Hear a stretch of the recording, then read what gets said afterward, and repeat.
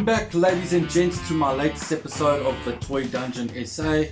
And today I've got an unexpected episode that I just decided to do. I was going through my cupboard, sorting out a few things, and what do you know? I found some old figures that are still in boxes. Some are older than others, some are from the first few videos I ever made. So let's just open them up and have some fun. So the first box I'm gonna open now is a Gormiti box. I don't know much about this toy. I got this toy when I first started about just under three years ago in some garage sale type of thing going on. Happens every Saturday. And I don't know this at all. It's some sort of playset with the eagle and some figure. That's all I can see. And if I read at the back here, it includes Peek of the Eagle playset one Gormiti character and a collector's poster. Very strange, very weird. It's been lying in my cupboard for so long. A lot of funny stuff and dust and the box is broken so I decided I'm going to unbox it and I think it came out in 1997 I'm not sure, there's just a punch mark at the bottom here, most of it's in another language. Brand that's on here at the back that says Giochi Preziosi, and I don't know, that sounds like Italy to me. But nonetheless, crazy stuff. Let's just open it and check it out.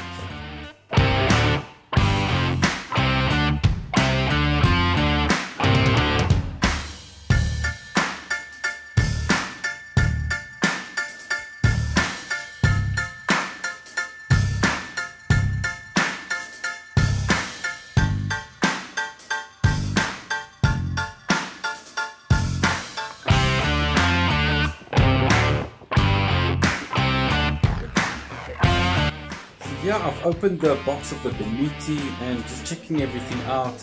It's such a weird play set. Going through and playing with this, I don't know, eagle mountain type of thing. Crazy thing is if you touch its tongue, bite your finger, which is really cool and strange. I don't know if this is a part of the play set. I found this figure like this. I don't know if it's gonna shoot him. But messing around with this thing, if you push this button, it's like a catapult. So I tried shooting this dude and it doesn't really work. Maybe the spring is just a little bit tired after so many years being compressed like that. I don't know if this has got something to do with it.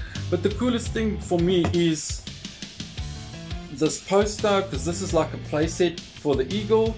But if you turn it around, it's Gormiti poster, which is really cool. Looks like just get the box, you look at this, that would be a really cool display piece.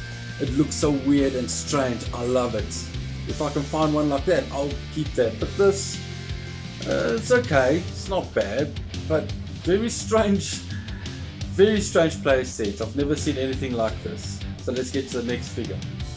So the next figure that I found is Redakai I have no idea what this is. Apparently there's cards in there and it's from 2011 and unfortunately the, the clamshell is starting to come off but from 2011 till 2021 it still works and it's got some 3D type of action going on in there. I know nothing about these toys. This is like some of the first toys that I picked up in that same place that I got the Gormiti. So let's unbox it and check what's going on inside here.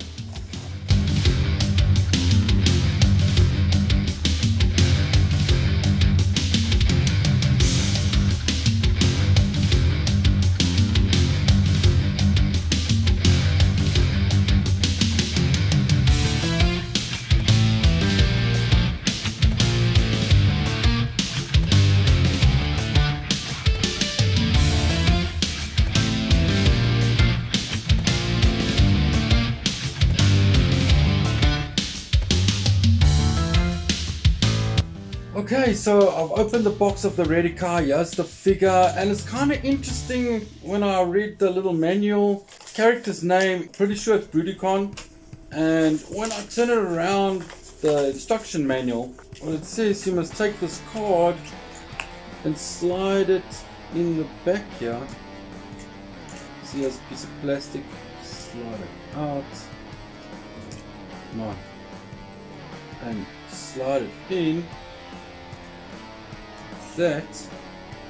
Must push button. It says for some 3D action. I don't know. You see, uh,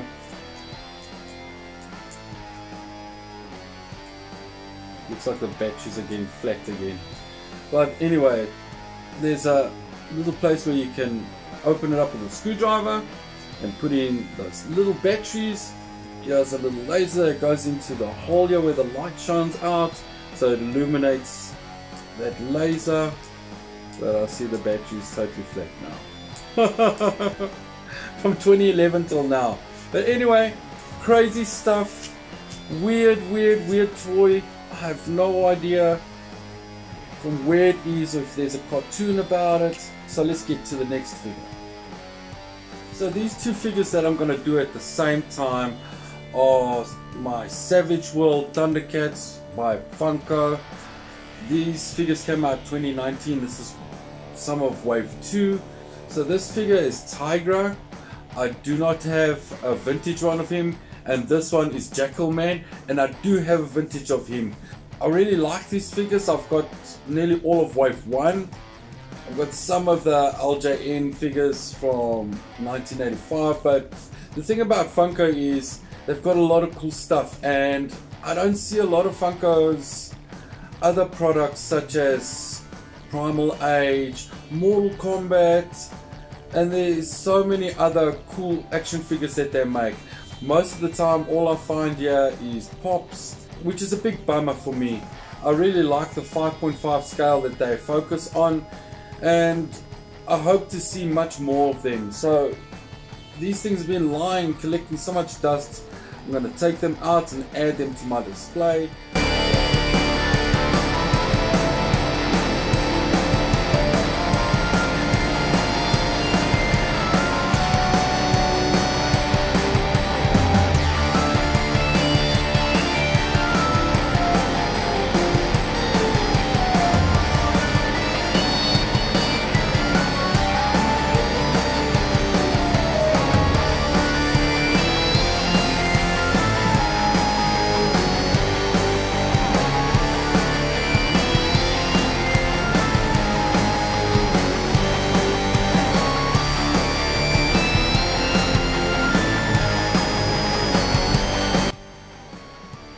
They are unboxed and I'm very happy and I got so excited unboxing them. The Jackalman looks totally different to the vintage one. Even the shape of the body and the head. I love it. I think it's awesome. Let me take the weapon out. The weapon I've noticed is different. As far as I know, he's supposed to have a club, not a axe, but nonetheless, let's put the axe in, see how it looks loose fit though and looks so different to the vintage one but I love it. I, I like the Funko Thundercat line and I like the Mortal Kombat line and I'd really like to get those horror figs that they also make for Freddy, Jason, this Tiger uh, getting his whip out. There we go. And it's beautiful. It looks very cool very bendable plastic put it in his hand. A tight squeeze. Dang. But there we go. Looks very cool. Love it. It's awesome. It's about time I opened these toys up. It's been a year that they've been sitting in the cupboard. I got these at Smallville in Alberton. I'm shorting three and then I've got all of them from wave 1 and 2 from Funko I'm very happy with these. I'm glad I've taken them out so I can put them on my display. So let's go to the next figure. So now these two I got to the same year 2019. This one I got at Comic Warehouse in Edenvale, Swamp Thing by DC Icons. And this is Azrael. And this one I got at Comic Con. And my buddy Ian took me there and we had a blast. It was crazy. I've never experienced anything like that. So let's get down to it and take these things out and see what it's all about.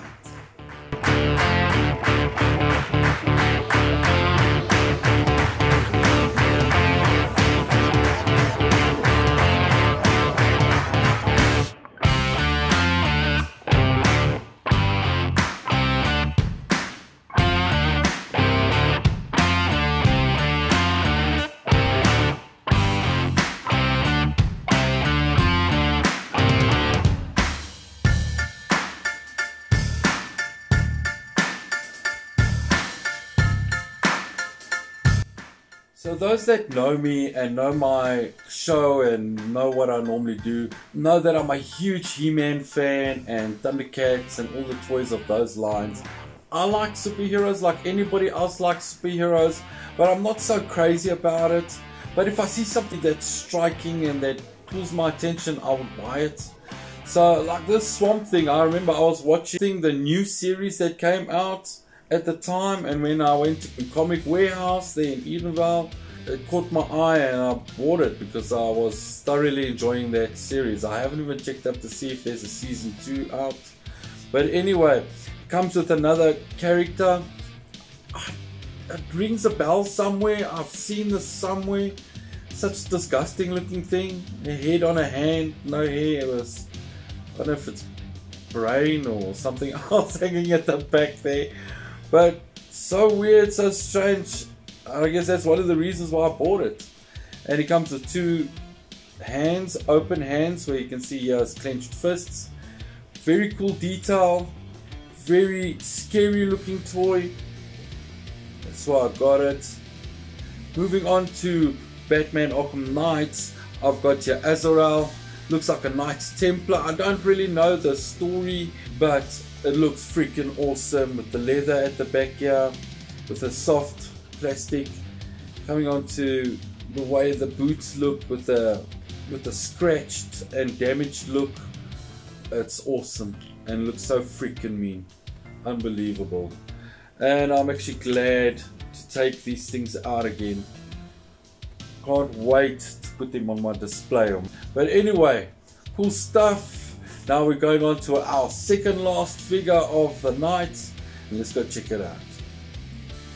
So this box is very interesting to me and thinking about opening for a long time I never got around to doing it. This is Plasma Dragons by Mega Bloks. I just found it at the same place I found the Gormiti. It's got pictures of orcs and knights and warriors on it. And it's so weird. I don't know, it's from 2007 so let's open it up and build it and see what this is all about. Very strange and interesting.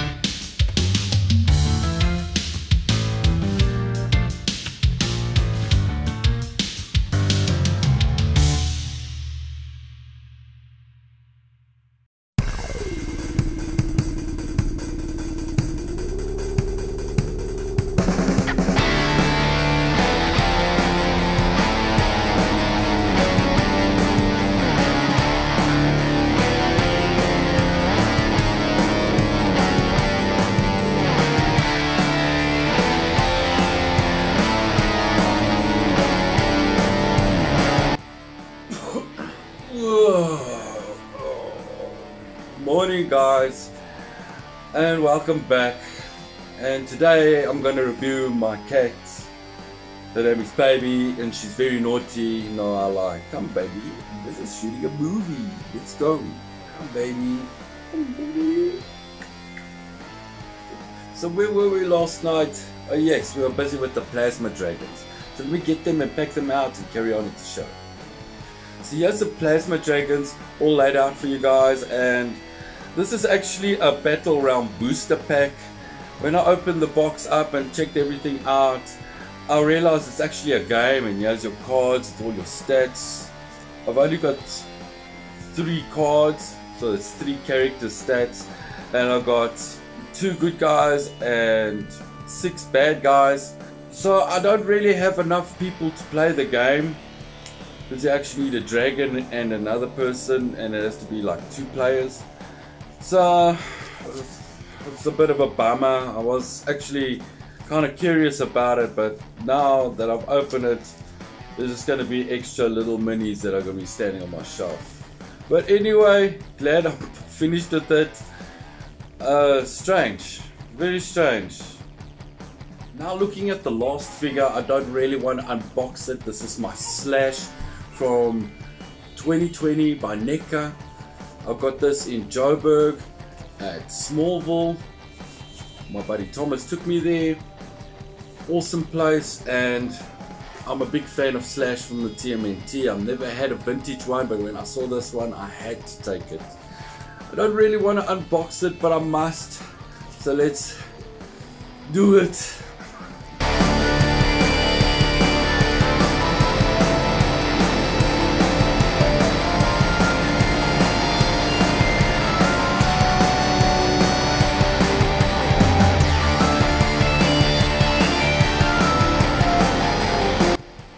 My Slash unboxed for the first time in over a year and I really wanted to do this for a long time.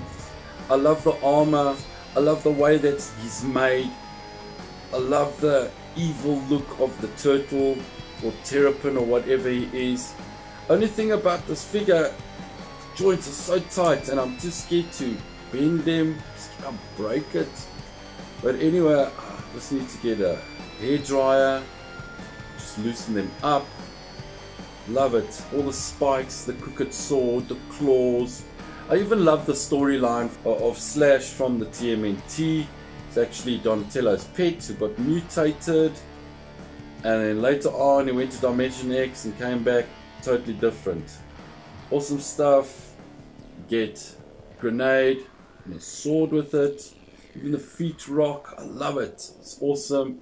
And they made it to look like the character in the TMNT game Turtles in Time, where he's a bad guy, and like in the game, the shadowing is done with a pixelated look. If you look carefully, it's, it's not shading, it's more like pixels from a TV game, which is still awesome. Awesome figure, love it. The only bummer about this toy for me is that I wish they would have put a binky in, but I know myself and I will make him a binky. I've got a couple of episodes of making things for my action figures coming up soon, so yeah, happy about this toy, happy to have him and play with him now, and glad to put it on my shelf now. And there we go. So that brings us to the end of this episode where I unbox all a mixed mashup of action figures and toys that have just been lying gathering dust in my cupboard. Hope you guys enjoyed. And if you did, support me and those who support me by subscribing, hitting that like button, leave a comment if you want, and have a great day. Till next time, cheers.